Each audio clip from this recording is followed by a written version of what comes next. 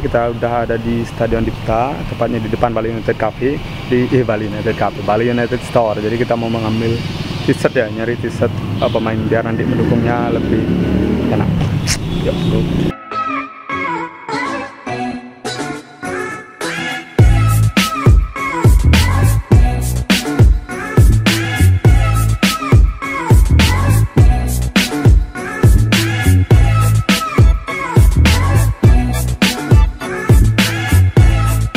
Bayang tempatnya luas banget tapi kita belanjanya sendirian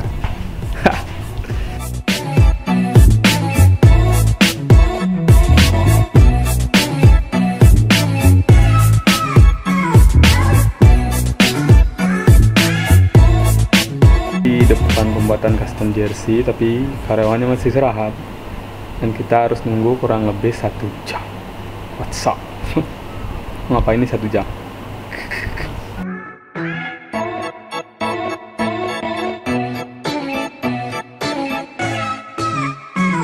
kita ini yang pas sambil menunggu nih kayaknya. Ke Bali United Cafe dulu dah. Yuk soalnya belum pernah juga. Kita ngecek dulu yuk. Dan kita lah udah di depan Bali United Cafe di parkirnya. Kayak masih sepi sih soalnya Bali United lawan PSMS kan ntar malam. And anyway oh sini ya. Kita baru nyampe di dalam nih di kasih kemarin kayak gini nanti diisi mau makan apa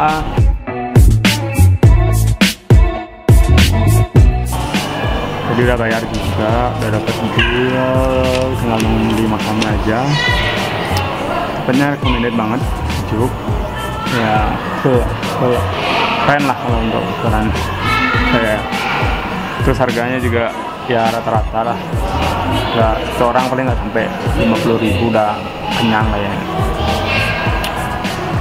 ya semua nanti hari ini sebenarnya ada pertandingan Bali away lawan Med PSMS Medan tapi ntar malam. Karena tujuannya ke sini kan bukan untuk nonton day ya tujuannya untuk beli baju sebenarnya. Mungkin nanti next time bisa nonton di sini. Terus kalau kayak pertandingan home sebenarnya kita bisa nonton di sini loh. Hmm, kelihatan ya?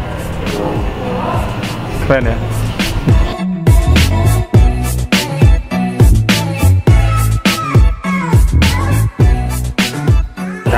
nasi sambal matanya. Akhirnya datang yap unboxing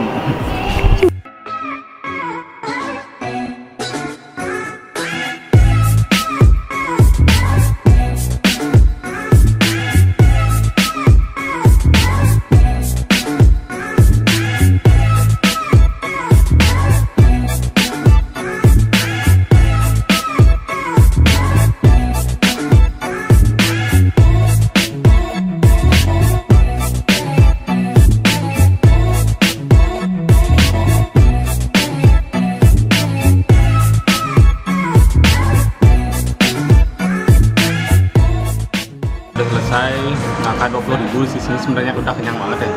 Ini sok-sokan. Di juga dimakan juga. Kan makannya aja udah cukup lah. Harga 20 ribu untuk tempat sekeren ini. Lumayan ekonomis lah ya sebenarnya. Puri makin rame yang nonton. Suasananya juga keren keren. Lampunya udah mulai menyala deh. Keren banget. Kalau nunggu mau nobar nih jam jam 8 di 4 jam mending ntar aja nih next time. Belum nanti masih ada WD masih banyak karena baru baru musim udah Sabtu besok Om lawan PSM PSIS Semarang kayaknya bakal nonton deh ya udah lama ini sama makan yuk kita balik ke Bali United Store dulu. Kayaknya sih udah jadi sih kayaknya dan no smoking area juga keren kan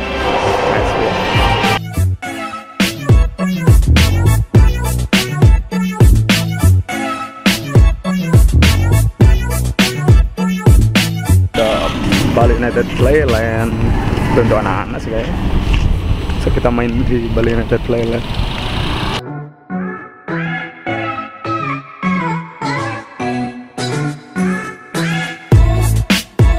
jadi custom setnya semoga menyenangkan. Dan itu sih tadi kalau jalan-jalan ke Stadion Dipta mau cuma bisa beli baju bisa dapat beli makan juga. Terus kalau ngajak anak kecil gitu bisa main di Bali United Playland aja. Tapi tadi sih saya lihat ada Milos ya Milos Kerkotek tapi nggak ketemu sayang. Nggak bisa foto bareng deh. Ya teman-teman ke sini jangan lupa selfie di sini teman-teman mungkin yang bingung Sabtu Minggu mau ke mana. Atau siapa hari sih sebenarnya buka dari jam 10 sampai jam 11 malam. Jadi kalau mau jalan-jalan sini tuh salah satu tempat-tempat recommended ya. Bali United Store Bali United Cafe Bali United Thailand.